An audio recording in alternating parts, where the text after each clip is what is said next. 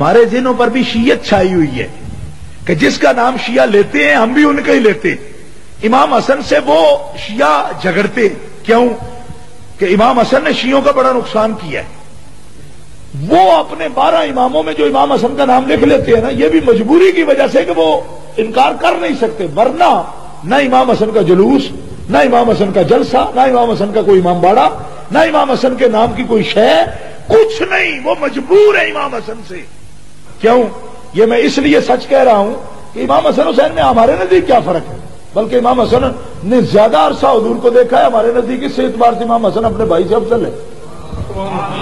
وہ پہلے جو پیدا ہوئے ہیں، حضور کے ساتھ گھڑیاں جس کی زیادہ گزری، وہ زیادہ بہتر ہے نا؟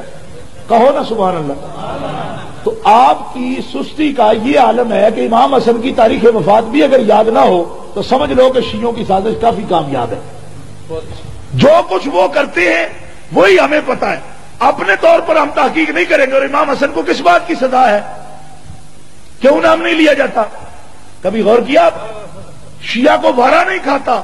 اور سنی سنی بیچارہ تو لکیر کا فقیر ہے۔ یہ کسی نے نام لے دیا لے لیا، نہیں تو نئے سرے سے بات ہی نہیں کرنی۔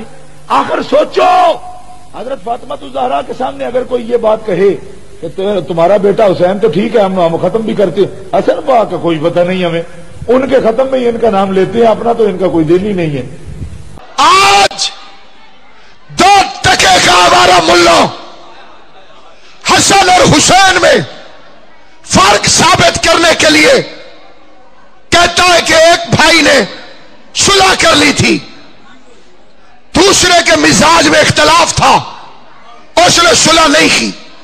بے وقوف اگر حسن اور حسین کے مزاج میں فرق ہوتا۔ تو رسول مدینے کے بازار میں دونوں نوازوں کو سلفے کو پکڑواتے؟ نہیں، فکرہ واضح نہیں ہوا۔ سنو۔ آپ سائیکل کا ہینڈل بھی دو بندوں کے ہاتھ میں نہیں دیتے۔ ایک ادھر موڑے گا، ایک ادھر موڑے گا۔ پیغمبر نے دونوں بچوں کا قبلہ اپنی زلفیں پکڑوا کے بتایا، یہ اختلاف والا گھر نہیں ہے، جدھر میرا حسن موڑے گا۔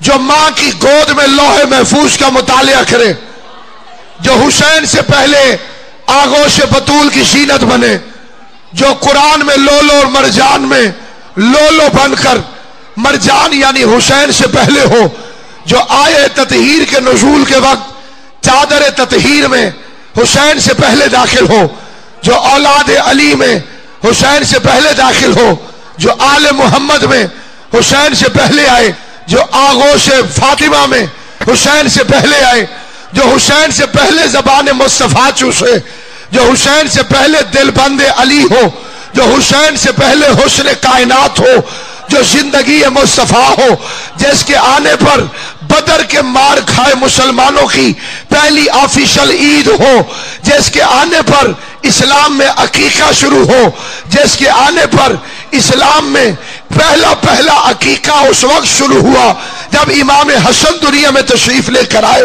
اس سے پہلے عقیقہ نہ تھا، یہ اول آل محمد ہے، یہ پہلا ہاشمی ہے، جس کا باپ بھی ہاشمی، جس کی ماں بھی ہاشمی نجیب و طرفین ہے، سیدہ شباب اہل جنہ ہے اور قرآن کی قسم رسول کا خالی نواسا نہیں ازرو قرآن رسول کا بیٹا ہے۔ یہ ہمارا دعویٰ ہے۔ دیکھو، سیدوں کی حمایت میں بولا کرو۔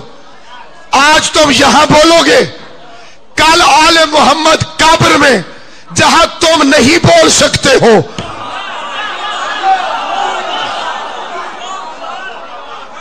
تمہارے لیے آل محمد بولیں گے۔